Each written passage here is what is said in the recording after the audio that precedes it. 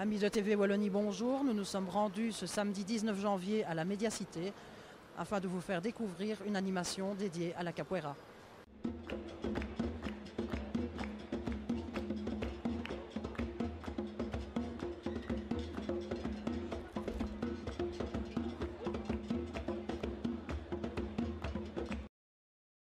Jean-Bruno, bonjour. Bonjour.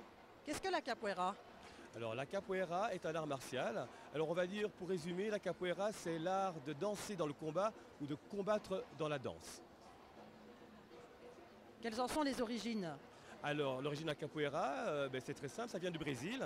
Alors la capoeira est née euh, à- enfin, avec les esclaves qu'il y avait au Brésil, principalement à Salvador de Bahia. Il faut savoir que les esclaves étaient amenés au Brésil à partir, enfin arri- arrivaient au départ euh, donc à Salvador de Bahia et après là étaient dispatchés en fait dans le restant du pays.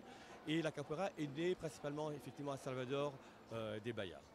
Tout simplement, les esclaves, ben, voulant euh, s'évader, ont conçu de pouvoir s'entraîner, mais pour le faire, ils devaient le faire euh, ben, euh, euh, donc à l'insu finalement de leur, de leur maître. Et donc, ils ont caché leur mouvement de- d'entraînement, de, combat, dans quelque chose qui s'apparentait à de la danse, de telle sorte que leur maître leur disait, mais tiens, en fait, ça va, mais ils sont en train de danser. Mais non, en fait, ils s'entraînaient vraiment au combat. Justement, quelles sont les parties du corps que l'on utilise principalement pour capoeira?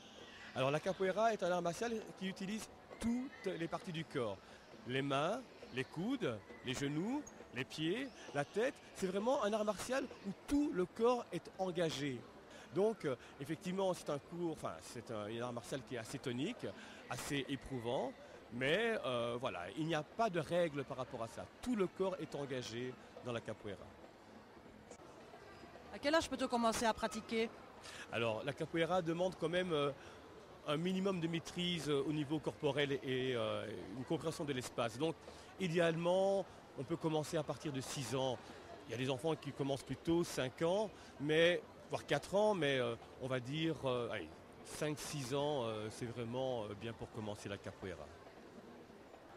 Des cours sont-ils organisés ici à Liège? Alors, en fait, il faut savoir que la capoeira, c'est quelque chose, euh, c'est l'un des sports qui est de plus en plus pratiqué au monde. Alors, à Liège, il y a des cours qui sont effectivement donnés. Euh, ça, il faut voir les différents groupes euh, ben, qui existent, puisqu'il y a des groupes de capoeira, comme Abada Capoeira, comme Capoeira Brasil, ne citer que- mais il y a encore d'autres groupes en fait qui font ça. D'ailleurs, nous, nos capoeiristes, font partie en fait de différents groupes euh, donc, euh, de capoeira. Et, euh, et ici, effectivement, on donne aussi des cours de, cours de capoeira. C'est un sport qui reste tout à fait abordable pour les débutants. Ça reste abordable pour tous. Alors il est évident que là on a vu des personnes qui sont expérimentées, qui font de la capoeira depuis plusieurs années, donc évidemment c'est acrobatique, c'est spectaculaire, mais on peut commencer évidemment à tout âge et à tout niveau. La seule chose, c'est qu'il ne faut pas avoir peur, il faut se, se lancer, et puis vous verrez que petit à petit, ben, on maîtrise son corps, on maîtrise aussi au niveau musculaire, puisque effectivement euh, c'est un sport qui est quand même physique, et progressivement on progresse. Donc on ne va pas commencer à faire directement des saltos, mais on va d'abord commencer à faire le mouvement de base qu'on appelle la jinga, jinga qui veut dire euh, bouger, voilà, et au fur et à mesure on construit en fait euh, les mouvements de capoeira à partir de cela. Quel type d'équipement doit-on porter pour pratiquer ce sport? Alors la capoeira euh, a un équipement qu'on appelle l'abada, qui est en fait euh, l'uniforme, on va dire comme cela, euh, ou le kimono, mais vu de manière brésilienne. Donc c'est l'abada. Et donc c'est quoi? C'est un pantalon et donc euh, un t-shirt généralement. Et on tient le pantalon avec une ceinture. Et la ceinture correspond aussi parce qu'il y a des couleurs qui correspondent en fait aux différents grades comme on le trouve au niveau du judo ou du karaté. Donc suivant la couleur qu'on va porter ben voilà on va avoir des grades supplémentaires. Et aussi il faut savoir que tout capoeiriste a un nom de capoeira. D'accord? C'est-à-dire qu'il va être, être d'abord baptisé au niveau de la capoeira. Donc il a un baptême et alors on va lui attribuer un nom, un nom de capoeiriste qui va lui suivre tout au long de sa, de sa vie de capoeira, enfin de capoeiriste. Je vous remercie. Je vous en prie.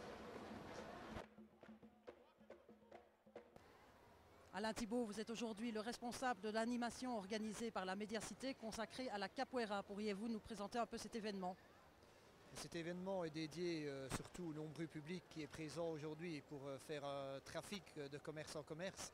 On essaye de présenter continuellement de, de, nouvelles prestations qui sortent de l'ordinaire et vous avez vu aujourd'hui que la capoeira sortait vraiment de l'ordinaire.